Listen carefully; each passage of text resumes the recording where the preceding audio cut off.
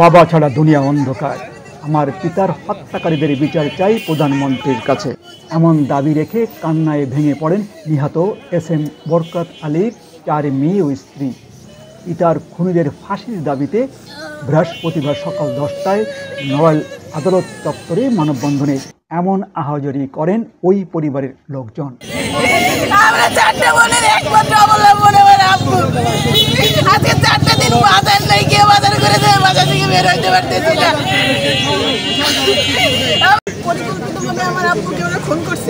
খুন করার পরে এখন আমাদের আমরা রাস্তা দিয়ে বের হইতে পারতেছি না। সাক্ষীদের হুমকি যদি বের তোদেরও খুন করব, যদি সাক্ষী দিতে না তোরা।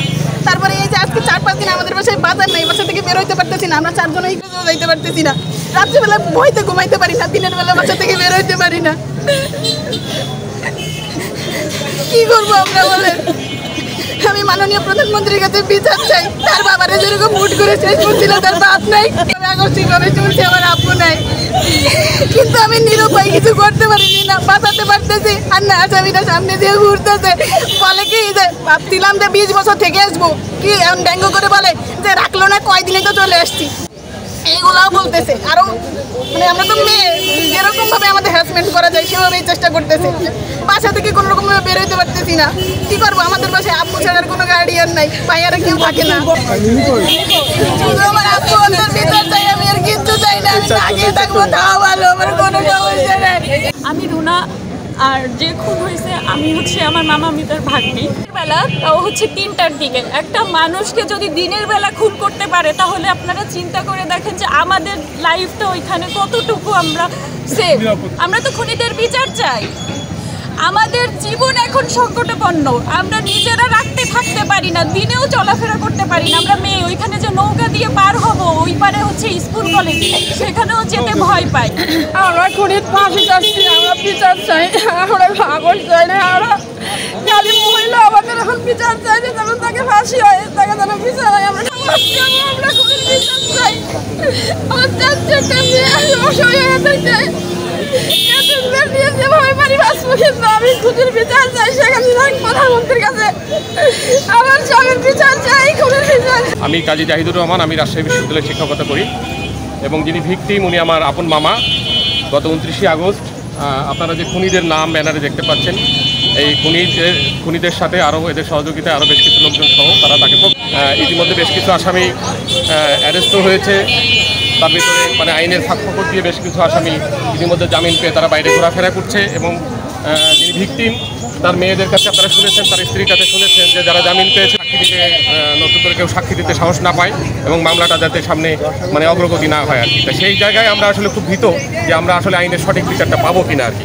তা আজকে সেই কারণে আজকে আপনারা, মিডিয়া ব্যক্তিত্ব আপনারা যারা এসছেন, আপনাদেরকে বিষয়টা এবং দেশবাসীকে আজকে এরকম অসহায় অবস্থায় পড়ে গেছি। তার চারটে মেয়ে, চারটে মেয়েই কলেজ বিশ্ববিদ্যালয়ে পড়াশোনা করে, তারা বাইরে ইভেন কলেজে যেতে সাহস পায় না, তারা ভীত সন্ত্রস্ত, তারা বাড়ির বাইরে বেরোতে পারছে না। সরকারের কাছে তথা আপনাদের মাধ্যমে জানাতে চাই যে এই খুনের জন্য সঠিক বিচার হয় এবং মানববন্ধন চলাকালে নিহত বরকত হত্যার আসামি আইব আলীর মেয়ে নাদিরা মোবাইল ফোন দিয়ে ওই মানববন্ধন চলাকালীন ভিডিও ধারণ করতে গেলে আদালত চত্বরে একটি হট্টগোল সৃষ্টি হয়। আমার নাম নাদিরা খানম। পলাশের বাড়িতে। পলাশ আর পরশ হকি স্টিক দিয়ে বাড়াই মারছে। শোনেন আমার কথা। লাশের সুরাতাল রিপোর্ট আমার মিথ্যা মামলা এই বন্ধু মামলা আসামি করে এখন কেন হবে মারার জন্য সব প্ল্যান করে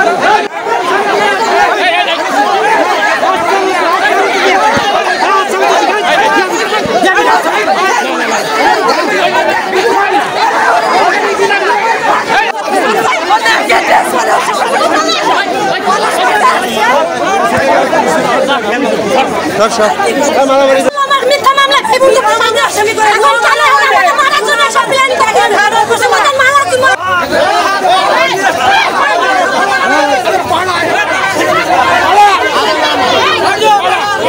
এ সময় পুলিশের উপস্থিতিতে পরিস্থিতি নিয়ন্ত্রণে আসে।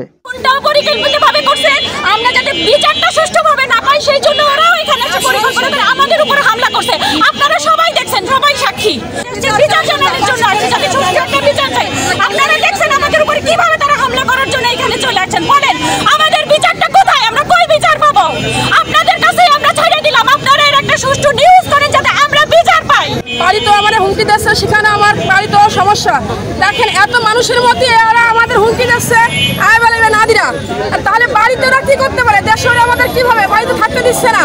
ওর ভাই মারছে, মা আমাদের সঙ্গে কি ব্যবহার করতেছে? এখানে মানববন্ধন করতে আসছি, ওরা তাতেও আমাদের বাধা দিচ্ছে।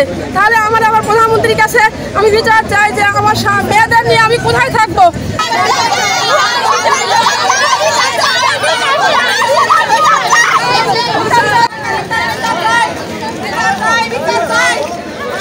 বিচার চাই, ফাঁসি চাই ফাঁসি চাই।